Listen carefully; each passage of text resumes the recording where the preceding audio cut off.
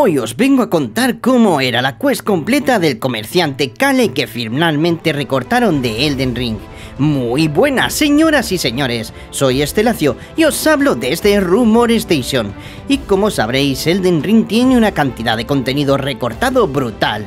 Y en este vídeo, haciendo honor a este canal y a los literalmente millones de personas que hemos ayudado con nuestras guías, vamos a ver cómo habría sido la quest del comerciante Kale gracias al usuario Sekiro Dubi que con un gran esfuerzo y dedicación ha conseguido reconstruirla para que todos podamos conocerla.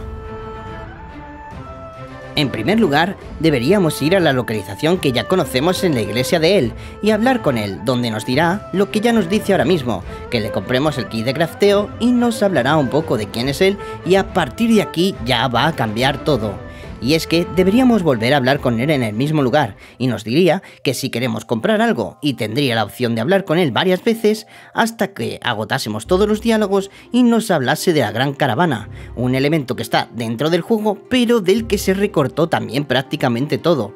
Concretamente nos dice esto. ¿Has oído hablar de la gran caravana? Ya veo, es una lástima. Bueno, incluso nosotros teníamos un lugar al que llamar hogar. La gran caravana la llamaban pero hace años que la perdimos. La he estado buscando desde que tengo memoria, y con un nombre como ese esperarías que guardaran algunos productos finos allí, ¿eh?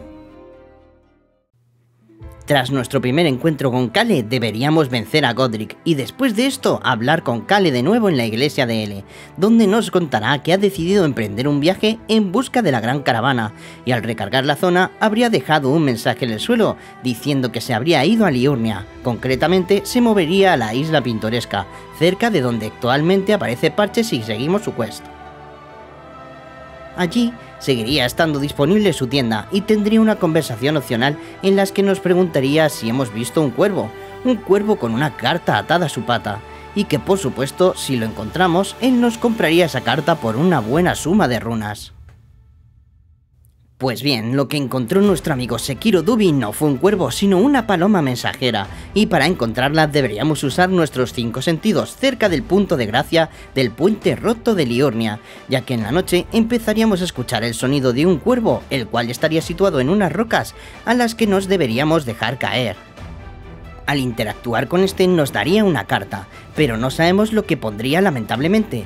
Pero como detalle, las cartas que nos vende Kale tienen una pluma en su parte inferior, quizás porque han sido enviadas también con algún ave. Cuando tuviéramos la carta, deberíamos volver a la isla pintoresca para hablar con Kale de nuevo y venderle la carta y al recargar la zona podríamos preguntarle acerca de la carta y nos contará que justo como él pensaba la carta está encriptada con información de los suyos y que le puede ayudar a saber lo que ha pasado con la gran caravana y a conocer sus propias raíces. Al recargar la zona de nuevo, aquí el comerciante volverá a dejar un mensaje en el suelo diciendo que va a ir a Leindel, ya que sospecha que allí va a encontrar más información para responder a las preguntas que le acechan. Después de esto, evidentemente deberíamos encontrar a Kale en Leindel, y aunque Sekiro Dubi no ha encontrado el lugar exacto donde aparece, lo ha situado en la Gran Avenida, cerca del punto de gracia mirador de la Gran Avenida, cerca de los carruajes volcados, por lo que puede tener todo el sentido del mundo. Al hablar con él, nos habría dicho que él sabía que gracias al mensaje que nos había dejado en Liurnia, le encontraríamos, y ahora podríamos preguntarle sobre el criptograma que le habíamos vendido, y nos dirá que sospecha que hay algo situado en las profundidades de la capital. Una vez hablamos con Kalen Leindel deberíamos encontrar otra carta, quién sabe si de otro cuervo. Esta parte está tan recortada que no han conseguido dar con su localización, y como hicimos antes tenemos que venderle esta carta al comerciante. Con ella confirmará que hay efectivamente un punto bajo la ciudad en el que pueda que encuentre a la gran caravana, y nos haría entrega de una piedra luminosa que nos da temporalmente varios efectos positivos. Nuevamente, Kale dejará un mensaje en el suelo diciendo que busquemos en la parte oeste de la capital. Con esto se refiere a que debemos buscar un punto de entrada en el oeste de la capital, así que lo que tenemos que hacer es bajar a lo más profundo de la capital, al mismo lugar donde actualmente acaba la cuesta de Yeta, y está la entrada a la puerta de los tres dedos. Allí encontraremos de nuevo a Kale, el cual nos dirá lo siguiente. ¿Has visto? ¿Qué les hicieron a mis antepasados? Todo el clan, enterrado vivo, enfermo, enloquecido, cáscara de sí mismos. ¿Has oído sus gemidos? Ya casi no son humanos. ¿Creen que adoramos los tres dedos?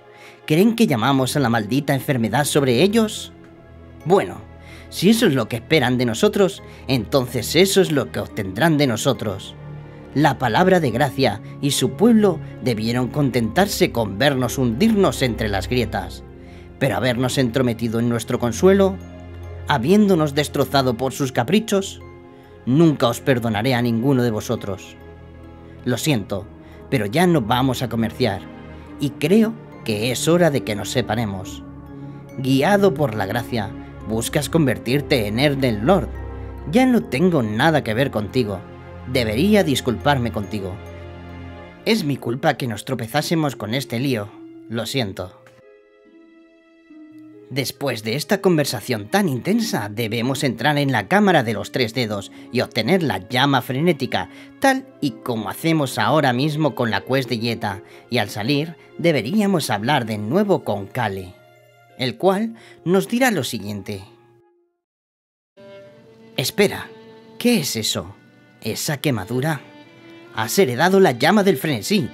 Oh, eso es lo que necesito, la llama amarilla del caos. Al recargar la zona, Kale aparecería cerca de la puerta de los tres dedos y nos diría la siguiente conversación.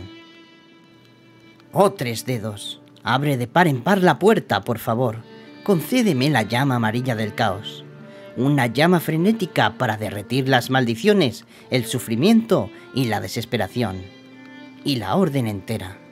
Mi caos toma el mundo